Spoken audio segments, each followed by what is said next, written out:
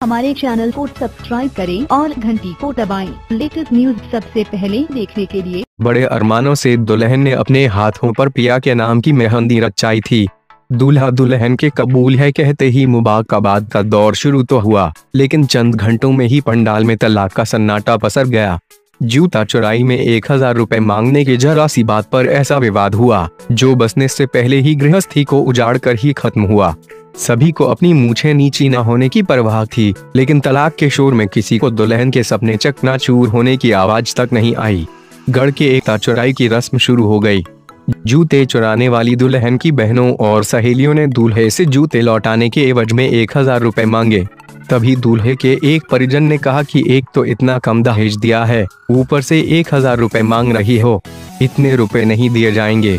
इस बात पर वहाँ मौजूद दुल्हन के जीजा ने कड़ा इतराज जताया। तो दूल्हे के साथ मौजूद कुछ युवकों ने जीजा से अभद्रता करनी शुरू कर दी।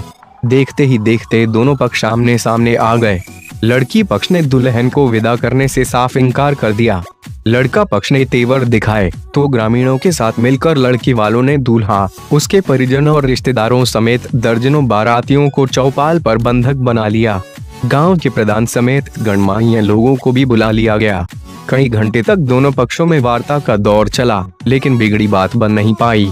निकाह के करीब पाँच घंटे बाद देर रात एक बजे शरिया कानून के तहत दोनों का तलाक करा दिया गया। सगाई और शादी के दौरान हुए खाने आदि पर हुए खर्चे की दो। बावन लाख रुपए की रकम भी दूल्हा पक्ष को अदा करनी पड़ी। शहर काजी मौलाना हाजी सैयद कसीमुद्दीन का कहना है कि अगर विदाई से पहले लड़की का तलाक हो गया है तो फिर उसे शरई कानून के तहत इद्दत नहीं करनी होगी। वहीं पुलिस ने मामले की जानकारी से इनकार किया है। बार एसोसिएशन के पूर्व अध्यक्ष सुबोध त्यागी सी एस यादव और चौधरी अमरपाल सिंह का कहना है कि हाल ही में तीन तलाक के खिलाफ कानून बना है। अगर विशेष परिस्थिति में आपसी सहमति से तलाक होता है और महिला इस संबंध में शिकायत नहीं करती है तो फिर कोई कार्यवाही नहीं हो पाएगी।